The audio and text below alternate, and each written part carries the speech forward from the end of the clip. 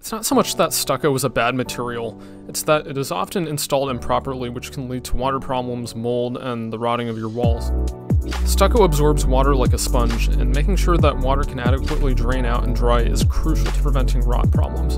Stucco should never be an afterthought when designing and building a home, as the installation details are critical to getting right in advance in order to avoid these issues down the line. The conventional way that stucco has been installed for years is the problem. Most exterior stucco walls have a buildup of a half-inch plywood or OSB sheathing, a weather barrier like Tyvek house wrap or asphalt impregnated tar paper, a metal lath to attach the stucco, and then a three-coat stucco layer.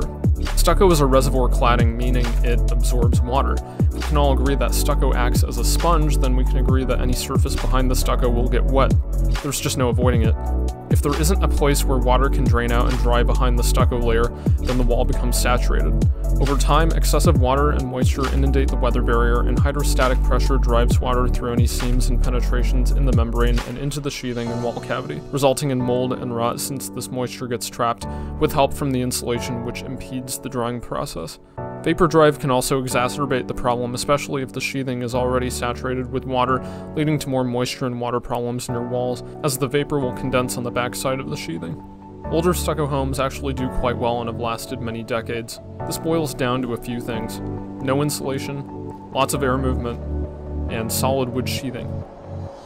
Older homes were often not insulated and had many air leaks, Normally we want to avoid air leaks wherever possible in newer homes, however, this combination allowed a lot of heat and airflow to dry out in areas that got wet behind the weather barrier. Additionally, the 1x6 or 1x8 solid wood shiplap sheathing has a significantly greater capacity to store water compared to plywood and OSB. As soon as we started preventing these walls from drying, we ran into problems.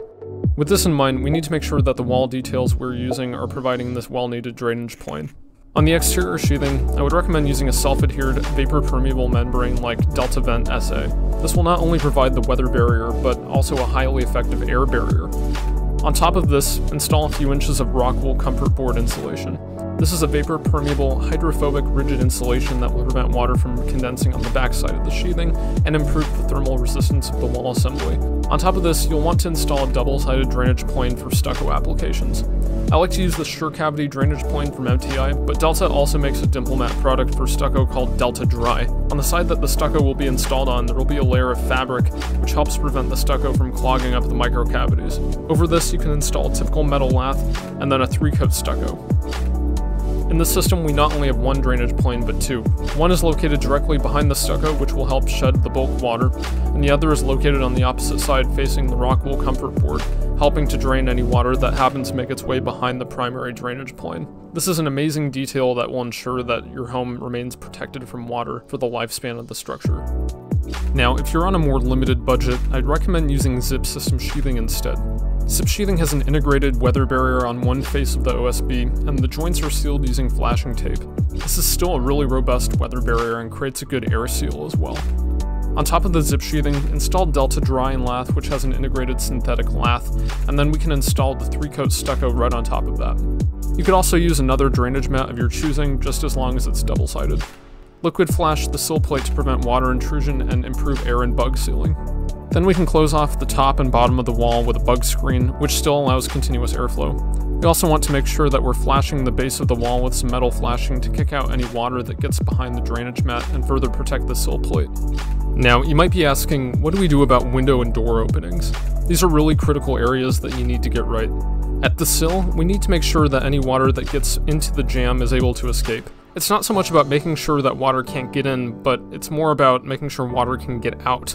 In this detail, we have a sloped sill and a back dam to prevent any water that may have gotten past our flashing from entering into the interior.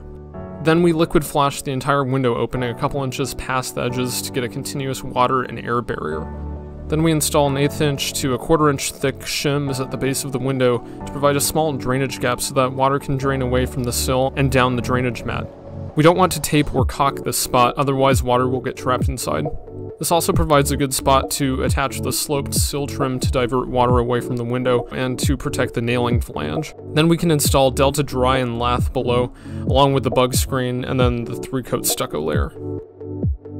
At the window head, we need to be installing a metal drip cap flashing over the flange. The majority of water intrusion occurs at the window head, and so this is some cheap insurance against water penetration, and again to kick out water away from the window.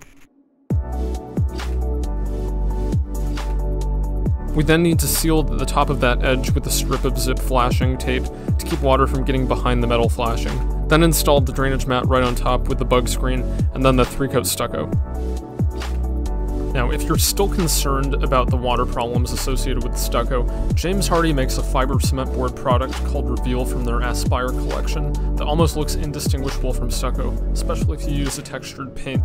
It's a panel system that is installed similar to traditional siding over rain screen battens to provide a drainage plane and then mechanically fastened to the wall system. The benefit of this system is that it simplifies the wall assembly and installation, which can be beneficial if there are concerns about the quality or skill of workers in your area, and most builders builders or contractors with a small crew should be able to work with this product without needing to use a stucco or siding contractor. For more detailed information about stucco and other claddings, please visit the link to my articles in the description below, and make sure to sign up for email updates so you get notified when a new article is released. If you found this video helpful, please leave a like and subscribe. Good luck in your projects. Cheers.